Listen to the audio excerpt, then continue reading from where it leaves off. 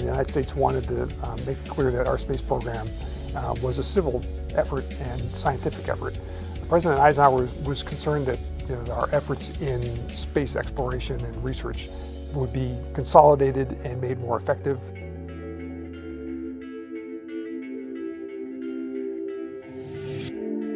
NACA is to become part of a new agency, the National Aeronautics and Space Administration. You can be justly proud of the fact that your past achievements have made NACA the choice of all governmental agencies out of which to build the new agency.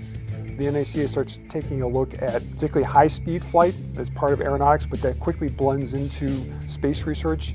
They start using rockets to do high-speed research on airplanes and then eventually on reentry vehicles. The NACA is really sort of this repository of you know, aerospace scientific skill and also aerospace geekdom as well, I suppose, to some extent. Uh, you know, people were very interested in, in flight and, uh, of course, naturally space as well.